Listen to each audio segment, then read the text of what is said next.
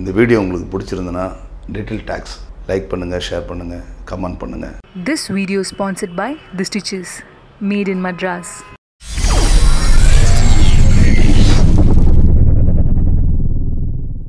பார்வைன்றது ஒரு மனுஷனுக்கு எவ்வளோ முக்கியன்றது தளபதி பார்க்க போகும்போது தான் நான் தெரிஞ்சுக்கிட்டேன்.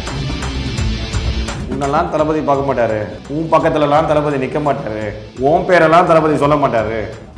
டிஸ்கரேஜ் பண்ணவங்களுக்கு எல்லாருக்கும் ரொம்ப தேங்க்ஸ் எனக்கு நான் ரொம்ப நாள் கடவுள்கிட்ட எதிர்பார்த்துட்டு இருந்த ஒரு வரம் என் தளபதி. என்னை பற்றி யோசிக்கிறத விட எங்கள் எங்கள் ஃபேமிலி பற்றி யோசிக்கிறத விட தளபதியை பற்றி தான் அதிகமாக யோசிச்சிட்டே இருப்பேன். அண்ணன் இளைய தளபதி அவர்களை மீட் பண்ண போகிறோம் அப்படின்னு சொல்லி கேள்விப்பட்ட உடனே அந்த மூணு நாளைக்கு எனக்கு நான் சாப்பிடவே இல்லை. அவருக்கு ஆயிரத்தி எட்டு வேலை லட்சம் வேலை இருக்கும். ஸோ இவங்களுக்கு யூஸ் ஆகும் அப்படின்றதுக்காக அவர் போய் வாங்கிட்டு வந்தார் அந்த கிஃப்ட்டை நீ உண்மையான தளபதி ஃபேனாக இருந்தால் ஐம்பது தண்டால் இந்த இடத்துல அடிக்கணும். ஐயோ. இங்கே என்ன தோணுதோ அதை பேசுவேன் இங்கே என்ன தோணுதோ அதை செய்வேன் hi this is Deepika from little talks YouTube channel இன்னைக்கு என்னோட யார் இருக்காங்க அப்படின்னா இவரோட மனசுல குடியிருக்கேனே அதோட ஒரு பெரிய வரம் வேற என்ன வேணும் அப்படின்ட்டு இவர் சொன்னாரு. ஹாய் நான் குமார் அண்ணா. விஜய் எப்படி இருக்கீங்க? ஹலோ நல்லா இருக்கும். நல்லா இருக்கீங்களா? ஸோ எப்படி இருக்கீங்க? சூப்பரா இருக்கேன்னா நான் வந்து எப்படி எடுத்தோடனே நான் ஓப்பனிங் நான் ஒன்னே ஒன்று கேட்கணும் தான் அந்த ஜான் செவன் டுவெண்ட்டி டுவெண்ட்டி உங்களுக்கு வாழ்க்கையில வெரி முக்கியமான டேட் அது. ஸோ நீங்க தளபதியை பார்த்த அந்த மொமெண்ட் கண்டிப்பாக இப்போ ஒரு ஃபிஷர் ஃபிஷர்மேன் வந்து போட் எடுத்துட்டு மீன் பிடிக்க போறார். அந்த மீன் பிடிக்க போறவருக்கு மீனுக்கு பதிலாக தங்கம் வைரம் வைடூரியம் எல்லாம் ஒரே வலையில மாட்டினா எப்படி இருக்கும். கரெக்ட் அந்த மாதிரி ஒரு அந்த மாதிரி ஒரு. ஃபீல் கொடுத்தது. அதை விட இது வந்து நான் ஜஸ்ட் ஒரு சொல்லணுன்றதுக்காக சொன்னேன். அந்த ஃபீலுக்கு வந்து எல்லையே கிடையாது. புரியுது. நீங்க ஆக்சுவலி அன்னைக்கு சொன்னீங்க நான் வெறித்தனமான ஒரு விஜய் ஃபேன் அப்படின்ட்டு நீங்க சொன்னீங்க. உங்களோட ஃபீலிங் சொல்லுங்கக்கா. நீங்க விஜய் ஃபேன்னா எவ்வளோ இஷ்டம் உங்களுக்கு? விஜய்னா அவ்வளோ இஷ்டம் அப்படின்ட்டு நீங்க ஆல்ரெடி சொல்லியிருக்கீங்க. ரொம்ப பிடிக்கும். ரொம்ப எ- எதனால ஆக்சுவலி உங்களுக்கு அவர் மேல அவ்வளோ அன்பு லவ் எவ்ரி அதாவது உங்களுக்குலாம் வந்து இது இந்த இப்போ நீங்கள் வந்து பீச்சுக்கு போறீங்க ரொம்ப பிடிக்கும் உங்களுக்கு. அந்த தண்ணினா ரொம்ப பிடிக்கும்ல பீச்சுக்கு போகிறது அது வந்து ஏன் பிடிக்கும்னு கேட்டால் நீங்கள் எப்படி சொல்லுவீங்க? புரியுது புரியுது. சோ காரணமே இல்ல சொல்றீங்க. சொல்வீங்க எனக்கு ரொம்ப பிடிக்கும். அது எப்படி சொல்றதுனே தெரியல. அந்த சந்தோஷத்துல அப்படி சொல்வீங்கல்ல அதுதான். ரைட் இப்போ நீங்க ஆக்சுவலி வந்து ஃபர்ஸ்ட் வந்து நிறைய பேர் வந்து அந்த கிளிப்பிங் நீங்க வந்து மிர்ச்சி விஜய் அண்ணாவோட கொடுத்துட்டதுக்கு அப்புறமா நிறைய பேர் சோஷியல் மீடியாவில் அதை ஷேர் பண்ணிருந்தாங்க எப்படியாவது நீங்க வந்து தளபதியை மீட் பண்ண வைக்கணும் அப்படின்ட்டு. ஸோ உங்களை வந்து மீட் பண்ணவங்க வச்சவங்களுக்கு என்ன சொல்லணும்னு நினைக்கிறீங்க இந்த இந்த மொமெண்ட்ல ஆ, ரொம்ப தேங்க் பண்ணோம் அப்படின்னு நினைக்கிறோம். ஏன்னா இது நாங்கள் வந்து ரொம்ப நாள் ஆசைப்பட்டது டுவெண்ட்டி இயர்ஸ் இவருக்கெல்லாம் டுவெண்ட்டி இயர்ஸ் நானும் வந்து அது மாதிரி கருத்தறிஞ்சதுலேருந்தே சரி பார்க்கணும் அப்படின்னு சொல்லிட்டு எல்லா படமும் நாங்கள் பார்த்தோம்ல. அதனால சரி அவரை பார்க்கணும் அப்படின்னு சொல்லிட்டு ஒரு இது. எங்களுக்கு அந்த ஆசை நிறைவேறினதுனால ரொம்ப சந்தோஷம். அவங்க எல்லாருக்கும் நாங்கள் வந்து தேங்க் பண்ண கடமைப்பட்டிருக்கோம். எஸ்பெஷலி ஜெகதீஷ் அண்ணா. ஓகேண்ணா உங்களுக்கு ரொம்ப தேங்க்ஸ்ண்ணா ஏன்னா எனக்கு நான் ரொம்ப நாள் கடவுள்கிட்ட எதிர்பார்த்துட்டு இருந்த ஒரு வரம் என் தளபதி. ஸோ அண்ணன் தளபதி அவர்களை வந்து நீங்கள் பார்க்க வச்சுருக்கீங்க. ஆனந்த் அண்ணன் அப்புறம் ஐஷு ஐஷு ஐஸ்வர்யான்றது என் ஃப்ரெண்டு அவங்க தான் முதல்ல வந்து ஃபவுண்டேஷன் போட்டது. இவங்களோட கான்டாக்ட் எல்லாம் எனக்கு கிடைக்க காரணம் வந்து இப்போ பேசிக் ஃபவுண்டேஷன் வந்து ஐஸ்வர்யா. அவங்க வந்து எங்களோட ஒரு வெல்விஷர் தளபதி எப்படியாவது பார்த்தே ஆகணும் அப்படின்னு சொல்லிட்டு நான் அடிக்கடி அடி அடி அவங்கக்கிட்ட சொல்லிகிட்டே இருப்பேன். எல்லார்ட்டையும் சொல்லிகிட்டே இருப்பேன்.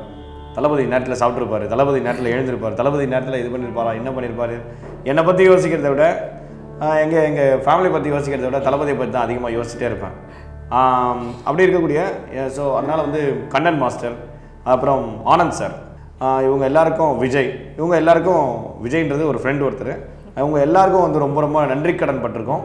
காலத்துக்கும் நாங்கள் இன்ஃபேக்ட் நாங்கள் சாகிற வரைக்கும் நன்றி கடன் பட்டிருக்கோம். இவங்க எல்லாருக்குமே. இப்போ இந்த ஆக்சுவலி இன்ட்ராக்ஷன் ஆரம்பிக்கிறதுக்கு முன்னாடியே சொல்லியிருந்தீங்க. விஜய் அண்ணாவை பார்க்கறதுக்கு முன்னாடி வந்து ஏதோ மூணு நாள் ஏதோ செய்யாம இருந்தீங்களாமே. என்ன பண்ணி ஏன் நான் இப்படிலாம் பண்றீங்க? அது அப்படியே சொல்லுங்க என்ன பண்ணிட்டு இருந்தீங்க அப்படின்னு அந்த மூணு நாள். அண்ணன் இளைய தளபதி அவர்களை மீட் பண்ண போகிறோம் அப்படின்னு சொல்லி கேள்விப்பட்ட உடனே அந்த மூணு நாளைக்கு எனக்கு நான் சாப்பிடவே இல்லை. அதாவது சாப்பாடு வந்து இறங்கலை. அந்த. எடுக்கல. சந்தோஷத்துல பசி எடுக்கல. எப்போ மீட் பண்ணுவோம்? எப்போ மீட் பண்ணுவோம்? எப்போ மீட் பண்ணுவோம் ஒன்லி ஒன் லிக்விட் ஃபுட் மட்டும் தான் இறங்குச்சு அப்படியே மிஞ்சி மீறி நம்ம சாப்பாடு சாப்பிட்டா இங்க வரைக்கும் நின்னுது இது சொன்னீங்களா தளபதி அண்ணா சொன்னேன். சொன்னோமே. என்ன சொன்னார் அவரு? சொன்னேன். நீங்க இப்படிலாம் வரக்கூடாது. அப்ப இங்க சாப்பாடு ஆர்டர் பண்றோம் இங்க சாப்பிடலாம் அப்படின்னாரு. இல்லனா எனக்கு இப்பவுமே இறங்கல. எனக்கு எப்போ இறங்கும்னு தெரியாது. சாப்பாடு. அன்னைக்கு மதியானம் தளபதி அவர்களை மீட் பண்ண அண்ணன் அண்ணன் தளபதியார் அவர்களை மீட் பண்ண போகிறதுக்கு முன்ன அந்த மத்தியானம் கூட அந்த செவன்த் அன்னைக்கு மத்தியானம் கூட நான் சாப்பாடு சாப்பிடணும்னு ட்ரை பண்ணுறேன் உள்ளே இறங்கல. பட் அது இருக்கிறது ஃபுல்லாகவே வந்து தளபதி பசியே எடுக்கல இன்ஃபேக்ட் பசி எடுத்தால் தானே சாப்பிட முடியும். நமக்கு வந்து பசியே சுத்தமாக எடுக்கல. அதனால் வந்து ஆஃப்டர் அண்ணன் தளபதி அவர்களை மீட் பண்ணிட்டு வந்த இந்த ரெண்டு நாளுமே கூட எனக்கு சாப்பாடு இறங்கல உண்மையிலே. அது வந்து ஒரு ஒரு எப்படி சொல்கிறது ஒரு செப்பரேட் வேர்ல்டு அப்- அப்படியே ஒரு விஜய் சாரோட படத்தை வந்து ஒரு நூறு நாள் பார்த்த ஃபீல் நூறு கரெக்டா நாள் இல்ல, ஒரு நூறு நாள் தாண்டியே போகணும். இல்லை ஒரு கோடி தடவை பார்த்த மாதிரி ஒரு ஃபீல் ரைட் இப்போ ஆக்சுவலி அந்த கேரவேன்ல ஒரு ஹாஃப் அன் ஹவர். அந்த ஹாஃப் அன் ஹவர் உங்களுக்கு எவ்வளவு இம்பார்ட்டன்ட் லைஃப்ல நல்லாவே தெரியும் எங்களுக்கு. அந்த ஹாஃப் அன் ஹவர் எப்படி போச்சு? முதல்ல இருந்து சொல்லுங்க. ஒரு நிமிஷம் மாதிரி போயிடுச்சு. ஐயோ டக்குன்னு போன மாதிரி இருந்ததா? ஆமாம் ஹாஃப் அன் ஹவர் இருந்தீங்க அப்படின்னு சொல்லி சொன்னாங்க. அந்த ஹாஃப் அன் தெரியல, வந்து ஹாஃப் அன் ஹவர் வந்து நாங்கள் இருந்தோமா அப்படின்றது எனக்குள்ள இப்போ ஒரு டவுட் இருந்துகிட்டே இருக்குது. ஏன் அப்படின்னா ஃபஸ்ட்டு கேரவனில் வந்து அண்ணன் வரும்போது அண்ணன் என்ன பண்ணாருன்னா ஷூட்டிங் ஸ்பாட்டில் தான் வெயிட் பண்ணோம். வரும்போது என்ன பண்ணோம்னா அங்கே போயிட்டு காஃபி கொடுக்குறாங்க. அண்ணா காஃபி வேணாண்ணா எனக்கு இறங்க மாட்டேங்குது. இல்லை இல்லை தளபதி திட்டுவார். எதுவும் கொடுக்கல நானா? எதுவும் தண்ணி கூட கொடுக்கலனா தளபதி திட்டுவார். எதுவும் கொடுக்கலனா தளபதி திட்டுவார். அவர் செட்டுக்கு வர எல்லாரும் சாப்பிட்டு தான் போகணும்னு நினைக்கக்கூடிய ஒரு பிரம்மாண்டமான ஒரு ஒரு நல்ல ஒரு மனிதநேயம் மிக்க ஒரு மனுஷன் அப்படின்னு சொல்லிட்டு அவரை நான் உணர்ந்தேன். இல்லைனா தளபதி திட்டினா கூட பரவாயில்ல ஏன்னா எனக்கு இறங்காது. ஏன்னா நான் தளபதியை பார்க்கும் முறை எனக்கு வந்து அந்த சாப்பாடோ சரி எதுவுமே சரி இறங்காது. அது வரைக்கும் வந்து லிக்விட் ஃபுட்டாவது இறங்கிட்டு இருந்தது. அங்கே போனோடனே லிக்விட் ஃபுட்டும் இறங்கல. என்ன பண்ணுறது அப்படின்னு சொல்லிட்டு இது பண்ணுவோம் சரி ஒரு இது பண்ணிட்டோடனே காஃபி கொடுத்தாங்க. அந்த ஆஃப் கப்பு தான் குடித்தோம் அந்த காஃபியும் அதுக்கப்புறம் அண்ணா வேணாண்ணா ப்ளீஸ்ண்ணா அது இறங்கலண்ணா அப்படின்னு சொல்லிட்டு ஏன்னா தளபதியின் இடத்துலேருந்து வந்த காஃபி அதை மிஸ் பண்ணக்கூடாதுன்னு சொல்லிட்டு என்ன பண்ணோம் வேறு வழி இல்லாமல் காஃபி குடிச்சாச்சு. பிஸ்கெட் எடுத்து வந்து கொடுத்தாங்க. இல்லைண்ணா தயவு செஞ்சு வேணாம் அப்படின்னு சொல்லிட்டு அந்த பிஸ்கெட்டை இப்போ கூட வச்சிருக்கேன் ஞாபகார்த்தமா. ஓ அது விஜய் சார். கொடுத்தாரு ஆமா. அப்படின்னு ஓகே அந்த ரைட் பாக்கெட் வந்து வச்சிருக்கோம். இப்போ கூட இருக்கும். அது எவ்வளோ நாள் ஆனாலும் சரி அந்த பாக்கெட் நான் பிரிக்க மாட்டேன். அப்படியே அது வந்து குட் டே பிஸ்கெட் உண்மையிலே அது மெமர மெமரபிள் மூமெண்ட் அப்படின்னு நான் சொல்லுவேன். ஸோ நீங்க ஆக்சுவலி வந்து அவருக்கு ஒரு கிஃப்ட் கொடுத்தீங்க பாக்கெட் ஏரியன் அவர் வந்து ஒரு ஸ்பீக்கர் ஒன்று கொடுத்தாங்கன்னு சொன்னாங்கல்ல. ஸோ ஸ்பீக்கரோட சேர்ந்து வேற ஏதாவது அவங்களோட ஆட்டோகிராஃப் அந்த மாதிரி ஏதாவது இல்லை எதுவும் கொடுக்கல. பார்க்க முடியாது ஏன்னா ஆட்டோகிராஃப் ஆட்டோகிராஃப் அவருக்கு ஆக்சுவலாக அவர் வந்து என்ன பண்ணா ஆஹ், எங்களை பற்றி அவருக்கு ஆயிரத்தெட்டு வேலை லட்சம் வேலை இருக்கும். இருந்தாலும் எங்களை பற்றி திங்க் பண்ணுறாரு நம்ம ஆட்டோகிராஃப் போட்டோம்னா அவங்களால பார்க்க முடியாது. ஸோ இவங்களுக்கு யூஸ் ஆகும் அப்படின்றதுக்காக அவர் போய் வாங்கிட்டு வந்தாராம் அந்த கிஃப்ட்டை. அவர் என்கிட்டே சொன்னார் நான் வாங்கிட்டு வந்தேன் குமார் இது வந்து உங்களுக்கு யூஸ் ஆகும் கண்டிப்பா. அதனால வந்து இந்த மொபைல் கூகுள் ஸ்பீக்கரை வந்து நான் உங்களுக்கு வந்து கிஃப்ட் பண்றேன். அப்படின்னு. அதாவது ஒரு நம்மை பார்க்க வரக்கூடிய ஒரு ரசிகன் எப்படியாப்பட்டவன் அவனுக்கு எது தேவை அவனுக்கு எது யூஸ்ஃபுல்லா இருக்கும் அப்படின்றத நினைச்சு அதுக்காக மெனக்கேடுற ஒரு மனுஷனை நான் அன்னைக்கு தான் நான் பார்த்தேன். நீங்க ஆல்ரெடி இதுக்கு முன்னாடி சொல்லியிருந்தீங்க. நிறைய பேர் வந்து உங்களை டிஸ்கரேஜ் பண்ணிட்டு இருந்தாங்க. நீங்களாம் எப்படி தளபதியை பார்ப்பீங்க அப்படின்ட்டு. அவங்களுக்கு வந்து நீங்க என்ன பதில் சொல்லணும்னு நினைக்கிறீங்க? தளபதி பார்த்துட்டேன். சரியா? டிஸ்கரேஜ் பண்ணவங்களுக்கு எல்லாருக்கும் ரொம்ப தேங்க்ஸ் இன்னும் நிறைய பண்ணுங்க. அப்பதான் நிறைய முறை தளபதி பார்ப்பேன். சரியா? சரி, நீங்க சொல்லுங்க. ஆ இப்போ டிஸ்கரேஜ் பண்ணுறது வந்து அது எதுக்கு? என்கரேஜ் பண்ணுற மாதிரி தான் இருக்கும். ஏன்னா அது நம்ம அரைஞ்சிடறோம்ல பார்க்கணும்னு நினச்சோம். அவங்க பார்க்க முடியாது அப்படின்னு சொல்லிட்டு சொன்னாங்க. ஒரு சேலஞ்சாக தான் இதை நாங்கள் பார்த்தோம். ஆக்சுவலாக என்னன்னா இந்த டிஸ்கரேஜ் பண்ணவங்க எல்லாருக்கும் தான் முதல்ல தேங்க் ஆமா. பண்ணணும் அவன் டிஸ்கரேஜ் பண்ணல அப்படின்னா கண்டிப்பாக அது சேலஞ்சாக இருந்திருக்காது. புரியுது. ஒரு விஷயம் இப்போ ஒரு விஷுவலி சேலஞ்சு டோட்டலாகவே ஒரு விஷுவலி சேலஞ்சையோ ஒரு ஃபிசிக்கலி சேலஞ்சையோ நீங்கள் பார்த்தீங்கன்னா அவங்க கிட்ட போயிட்டு இந்த விஷயம் உன்னால செய்ய முடியாதுன்னா முடிஞ்சு போச்சு. அவன் எப்படியாவது கஷ்டப்பட்டு அந்த வேலையை செஞ்சிருவான். அந்த விஷயத்தை வந்து செஞ்சிருவான். அதுதான் எங்களோட ஹேபிட்டு இப்போ ஃபார் எக்ஸாம்பிள் ஒருத்தர் சொன்னாங்க நீங்க வந்து தண்டால் அடிக்கணும் நான் வந்து பாக்ஸிங் கிளாஸ் போயிட்டு இருக்கும்போது. தண்டால் அடிப்போம். அப்போ எங்க பாக்ஸிங் கோச் சொன்னார் நீ உன் நீ என்ன விஜய் விஜய் தளபதி தளபதி தளபதி பாக்ஸிங் கத்துக்கணும்னு ஆரம்பிச்சதுக்கு வந்து மெயின் காரணம் வந்து பத்ரி படம். பத்ரி படம் பார்த்ததுக்கு அப்புறம் அண்ணன் வந்து அண்ணன் மாதிரியே படுக்கணும். பைக் வந்து அந்த கையில ஏத்துற மாதிரி. வரணும். அண்ணன் மாதிரியே மழையில் நனையணும் அண்ணன் மாதிரியே கோச் கிட்ட போய் கெஞ்சணும் அதே மாதிரியே. எனக்கு வந்து ஒரு எய்ம் இருந்தது. ஒரு மாஸ்டர் நம்ம ஐஷு ஐஸ்வர்யான்னு சொன்னேன் என் ஃப்ரெண்டு அவங்களோட மாஸ்டர் தான் அவரு. அவங்க வந்து பாக்ஸிங் கற்றுக் கொடுக்க ஆரம்பிச்சார் அவர். அதுக்கப்புறம் வந்து பார்த்தீங்கன்னா இந்த அதாவது மாஸ்டர் செடியன்ட்டு தான் பேசிக்காக நான் கற்றுக்கிட்டேன் அந்த சிக்ஸ் பஞ்சு இந்த பக்கம் மூணு பஞ்ச் இந்த பக்கம் ரெண்டு பஞ்சு இந்த பக்கம் ரெண்டு பஞ்சு இந்த பக்கம் ரெண்டு பஞ்சு அது கற்றுக்கிட்டேன் அவர் வந்து கற்றுக் கொடுக்குறதுக்கு முன்னாடி என்ன சொன்னார்னா நீ எதுக்காக இந்த ஃபீல்டுக்கு வந்தேன்னு சொல்லி மாஸ்டர் செலியன் கேட்டாங்க. அப்போ வந்து என் தளபதி அவர்களுக்கு பிடிக்கும். பாக்ஸிங் அவர் பண்ணியிருக்காரு. அதனால எனக்கு பாக்ஸிங் பிடிச்சது. அதனால வந்தேன். இந்த ஃபீல்டில் எவ்வளோ பெரிய ரிஸ்க் இருக்குன்னு தெரியுமான்னு? என் தளபதி எவ்வளோ பெரிய ரிஸ்க் எடுக்கிறார் தெரியுமா?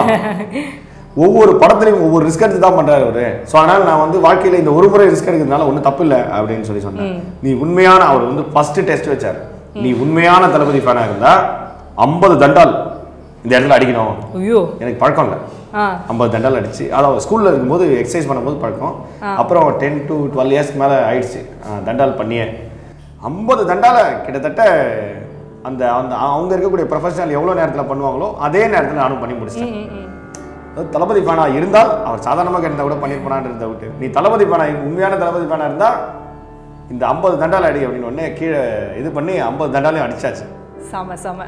ஸோ எங்களுக்கு எல்லாருக்குமே தெரியும் நீங்க வந்து ஒரு ஷார்ட் ஃபிலிம் டைரக்டர் அப்படின்ட்டு. நீங்க ஒரு வெறித்தனமான விஜய் ஃபேனும் சரி. அவருக்கு எதான கதை எழுதியிருக்கீங்களா? ஆ ஒரு கதை ஒன்று வச்சிருக்கேன். சொன்னீங்களா? அவர்கிட்ட கதை சொல்லல. அண்ணா நான் உங்களுக்கு ஒரு கதை வச்சிருக்கேண்ணே. இது வரைக்கும் தமிழ் சினிமா கண்டிடாத ஒரு கதை. இதை வந்து நீங்க பண்ணீங்க அப்படின்னா டெஃபினட்டா நல்லா இருக்கும்ண்ணா அப்படின்னாரு. ஒரு ஒன் லைனர் அட்லீஸ்ட் சொன்னீங்களா அவர்கிட்ட? இல்ல ஒன் லைன் சொல்ல முடியல. ஸோ அவர் என்ன சொன்னாரு? அவர் வந்து கண்டிப்பா பண்ணலாம் அப்படின்னாரு. கண்டிப்பா பண்ணலாம். கதை பண்ணலாம். கேட்கறதுக்கு முன்னாடி கண்டிப்பா பண்ணலான்ட்டாரா? பண்ணலாம் செம. பண்ணலாம். நாங்க நெக்ஸ்ட் டைம் மீட் பண்ணும்போது நம்ம அதை இது பண்ணிட்டு பண்ணலாம் ஒன்றும் பிரச்சனை இல்லை அப்படின்னு. அப்புறம் நான் வந்து அவர்கிட்ட ஆக்ட் பண்ணணும் உங்க உங்க கூட ஆக்ட் பண்ணணும்னு எனக்கு ஒரு ஆசை அப்படின்னு. கண்டிப்பா ஆக்ட் பண்ணலாம். சூப்பர் ஸோ ரெண்டுத்துக்குமே வந்து கண்டிப்பா பண்ணலாம் பண்ணலாம் அப்படின்னு தான் சொல்லி- சொல்லியிருக்காரு. பண்ண மாட்டேன் செய்ய மாட்டேன் நெகட்டிவா பேசவே மாட்டார். ஏன்னா அவருக்கு தான் நெகட்டிவ் அவ- அவருக்கு வந்து நெகட்டிவ் தாட்ஸ் வராது. அவரை நோக்கி தான் நெகட்டிவ் வரும். அந்த அவரை நோக்கி வர நெகட்டிவ்ஸ் எல்லாத்தையும் பாசிட்டிவா மாற்றக்கூடிய ஒரே தளபதி யாருன்னா நம்ம அண்ணன் இளைய தளபதியார் அவர்கள் தான் ஓகே நீங்க வந்து ஆக்சுவலி இப்போ பிசிக்கலி சேலஞ்ச் சொல்லிட்டு கண்டிப்பா நிறைய நெகட்டிவிட்டி ஃபேஸ் பண்ணியிருப்பீங்கல்ல நிறைய பேர் இப்போ ஆஹ், உங்களை வந்து திட்டுறதுல இருந்தோ இல்ல ஏதான ஒரு நெகட்டிவ் கமெண்ட்ஸ் உங்க மேல சொல்லிக்கிட்டே வருவாங்க. ரொம்ப ஹர்ட் ஆன கமெண்ட்னா என்னன்னு சொல்வீங்க உன்னெல்லாம் தளபதி பார்க்க மாட்டாரு. உன் கூடலாம் தளபதி பேச மாட்டாரு. உன் பக்கத்துலலாம் தளபதி நிற்க மாட்டாரு. உன் பேரெல்லாம் தளபதி சொல்ல மாட்டாரு. இதுதான் பெரிய இது இது. உம், ஆமா. நீலாம் கண்ணே தெரில நீலாம் போய் தளபதி என்னத்தை பார்க்க போறேன்னு சொல்லி ஒரு ஒரு நண்பர் ஒருத்தர் கேட்டார். ஸோ அதெல்லாம் கொஞ்சம் கஷ்டமா இருந்தது. ஓகே அது கஷ்டமா இருந்தாலும் அதை அப்படியே இக்னோர் பண்ணிட்டு போயிடணும்னு இருக்காரு. எங்க அண்ணன் சொல்லியிருக்காரு. ஏதாவது ஒரு நெகட்டிவ்ஸ் இருந்ததுன்னா அதை இக்னோர் பண்ணிட்டு போயிடு அப்படின்னு இருக்காரு. எப்படி உசு பேத்துறவன்ட்டு உம்முன்னு இன்னும் கடுப்பேத்துறவங்க கம்முன்னு இருந்தா வாழ்க்கை ஜம்முன்னு இருக்கும். உண்மையிலே சொல்லிட்டேன். அந்த மாதிரி நான் இருபது வருஷம் உசுப்பேத்துறவங்கிட்ட உம்முனும் கடுப்பேத்துறவங்கிட்ட கம்முன்னு தான் இருந்திருக்கேன். இது தெரியாம அவர் சொல்லுவாருன்னு தெரியாம அந்த ஹேபிட் வந்து ஃபாலோ பண்ணிட்டு தான் இருந்தேன். அதுவும் முயற்சி செஞ்சுட்டே இருந்தேன். தளபதி பார்க்கணும் எப்படியாச்சும் பார்க்கணும்னு சொல்லி நிறைய வழிகளில் வந்து முயற்சி செஞ்சுட்டே இருந்தேன். நான் வந்து ஒரு மிமிக்ரி ஆர்டிஸ்ட்டு ஒரு டூ ஹண்ட்ரட் வாய்ஸ் பேசுவேன். இதை வந்து நிறைய பேர் வந்து யூஸ் பண்ணிட்டாங்க. அதாவது என்னென்னா நீ வந்து தளபதியை மீட் பண்ண வை மீ- நான் வந்து மீட் பண்ண வைக்கிறேன். எனக்கு தளபதிக்கு சொந்தமானவங்க எல்லாருமே தெரியும். அவங்க அவர் கூட இருக்கவங்க எல்லாருமே எனக்கு தெரியும். இந்த ப்ரோக்ராம் எனக்கு ஃப்ரீயாக பண்ணி கொடு இந்த ப்ரோக்ராம் எனக்கு ஃப்ரீயாக பண்ணி கொடு கிட்டத்தட்ட ஒரு இரநூறு முந்நூறு ப்ரோக்ராம் ஃப்ரீயாகவே பண்ணி கொடுத்துருப்பேன். ஸோ இழந்தது அதிகம். பெற்றது தளபதி. அதனால ரொம்ப சந்தோஷம். சரி ஓகே இப்போ த்ரூ அவுட்டாக நீங்கள் வந்து ஃபுல்லாக வெறியராக இருக்கீங்க. அந்த ஒரு அந்த மிர்ச்சி விஜய் ஷோலேயே நீங்கள் சொன்னது என்னென்னா சாகிறதுக்குள்ளே வந்து கண்டிப்பாக வந்து தளபதி அவர்களை பார்க்கணும் அப்படின்ட்டு. உங்களுக்காக நிறைய பேர் ஆக்சுவலி அன்னைக்கு வந்து கண் கலங்கினாங்க. ஐயோ இவ்வளோ வெறித்தனமான ஒரு ஃபேனாக இருக்காங்களான்ட்டு. அவங்களுக்குலாம் நீங்க என்ன சொல்ல நினைக்கிறீங்க? இந்த ஆப்பர்ச்சுனிட்டி அவங்களுக்கும் கிடைச்சிருக்கலாம். ஆனா உங்களுக்கு கிடச்சிருக்குல்ல. அதை பத்தி என்னன்னு சொல்றீங்க? எங்களுக்காக ரொம்ப ஃபீல் பண்ணேன். எங்களுக்காக இதை ட்ரை பண்ணேன். தளபதியை பார்க்க வைக்கணும். நாங்கள் தளபதியை பார்க்கணும் அப்படின்னு விருப்பப்பட்ட எல்லாருக்குமே நன்றி சொல்லி பிரிக்க விரும்பலை. நீங்கள்லாம் எனக்கு எனக்குள்ள ஒருத்தவங்க. நீங்களாம் எங்களில் ஒருத்தவங்க. உங்களை நன்றி சொல்லி பிரிக்க விரும்பலை. ஸோ ஃபேமிலியா ஆமா பாக்குறீங்க எல்லாரையும் ஃபேமிலி நான் நல்லா இருக்கணும்னு நினைக்கிறாங்கல்ல. கண்டிப்பா அவங்களாம் இப்போ நான் தளபதியை பார்க்கணும்னு நினைக்கிறாங்க. என்னோட ஆசை நிறைவேறணும்னு நினைக்கிறாங்க. பார்க்கணும்னா கூட பரவாயில்ல. நீங்க மட்டும் பார்த்துனா கூட அங்க. ஒரு ஒருத்தவங்க அதான் சொன்னாங்க. நான் பார்க்கலனா கூட பரவாயில்ல. அந்த செட்ல உங்க மிர்ச்சி விஜய் ஆமா. சார் இருக்கும்போது அந்த அந்த செட்ல கூட சொன்னாங்க. நாங்க பார்க்கலாம் கூட பரவாயில்ல. நீங்க பார்க்கணும். உங்களை எப்படியாவது பார்க்க வைக்கணும். உங்களை எப்படியாவது பார்க்க வைக்கணும்னு சொல்லி என்னை மோட்டிவேட் பண்ணி பண்ணாங்க. அவங்க எல்லாரையும் நன்றி சொல்லி நான் பிரிக்கவே விரும்பல. அவங்க எல்லாருமே என்னுடைய சகோதர சகோதரிகள் என் கூடவே இருக்கணும். லைஃப் லாங் என்னை மோட்டிவேட் பண்ணிட்டே கூடவே இருக்கணும். நானும் அவங்களோட லைஃப் லாங் மோட்டிவேட் பண்ணிட்டு கூடவே இருப்பேன். நீங்க ஜென்ரலா படம் பார்க்கும்போது நீங்க அதுலயே சொல்லியிருந்தீங்க பக்கத்துல இருக்கிறவங்க வந்து எக்ஸ்பிளைன் பண்ணிக்கிட்டு இருப்பாங்க ஒவ்வொன்றும் இப்போ என்ன பண்றாரு அப்படின்னு பண்றாரு. இப்போ ஆக்சுவலி வந்து உங்களுக்கு வந்து பிகில் சாங் ப்ளே பண்றோம். அந்த ஃபீல் உங்களுக்கு எப்படி இருக்குன்னு நீங்க கேட்டு சொல்லுங்க.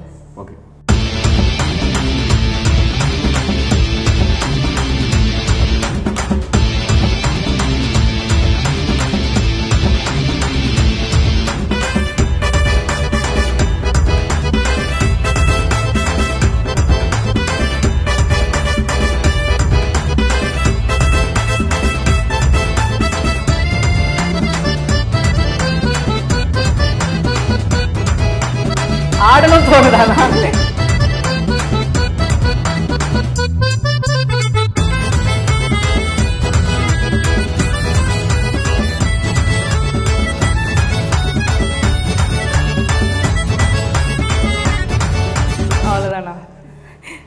வேற லெவல்ல நீங்க அப்படியே வேற ஜோனுக்கு போயிட்ட மாதிரியே இருக்கீங்க. அப்படியே திருப்பி அந்த விஜய் சார் பார்த்த அந்த எக்ஸைட்மெண்ட் தெரியுது ஆக்சுவலி உங்க ஃபேஸ்ல எனக்கு உண்மையிலே இந்த பா எல்லா தளபதி பாட்டு வந்து என் அண்ணன் இளைய தளபதியார் அவர்களுடைய குரலோ இல்லை பாட்டோ இல்லாமல் காலையில் நாள் வந்து நான் எழுந்துக்க மாட்டேன். எழுந்துக்கும் போது டிவியில் வந்து அண்ணன் தளபதியார் அவர்களுடைய பாட்டு கேட்கும்போது நல்லா தூங்கிட்டு இருப்போம். என்னை வந்து எழுப்புறதுக்கு ஒரே வழி என்னன்னா தளபதி பாட்டை போட்டு விட்டா போதும்.